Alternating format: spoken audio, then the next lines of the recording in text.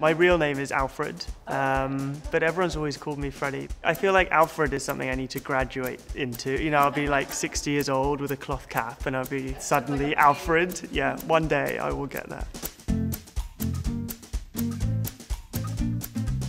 I've loved being a part of the wider process on The Good Doctor. I guess it was born out of a natural desire to be involved beyond acting. So I'm here actually in LA at the moment in the writer's room because I'm getting to write an episode next year and I'll direct one too. But, but it comes out of a natural desire to try and be involved as, as much as I can be useful, I guess.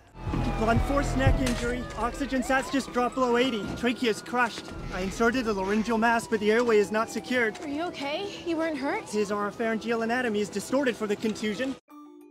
I think this character, more than any other one I've played, required a huge amount of research, and at the same time, it was important not to get too bogged down in, I guess, in having a skewed vision of what someone with autism is actually like. They're, they're not purely defined by traits. Need a ligating suture on the splenic artery. Can you do that for me before this young lady bleeds out on us, Murphy? Yes. In terms of my medical knowledge, it's pretty poor.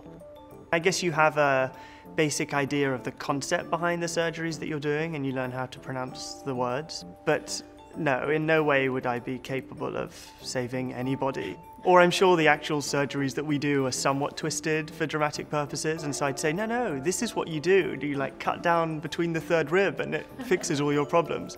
And that would end up killing the patient.